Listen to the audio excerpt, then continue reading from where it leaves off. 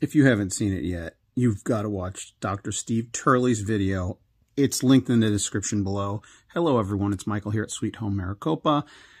I got a plenty, I got plenty of links in the description below you can go to. Um, but watch that video. He confirms essentially what I've been saying.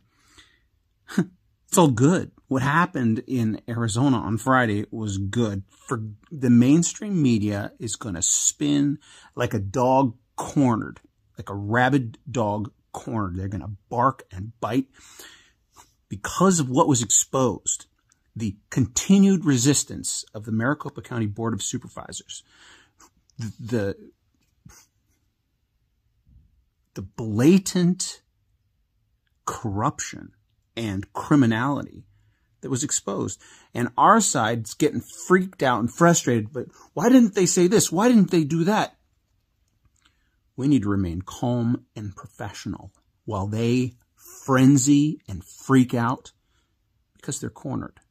Watch Steve's video. it's good stuff. God is in control. And Steve would concur. Yeah.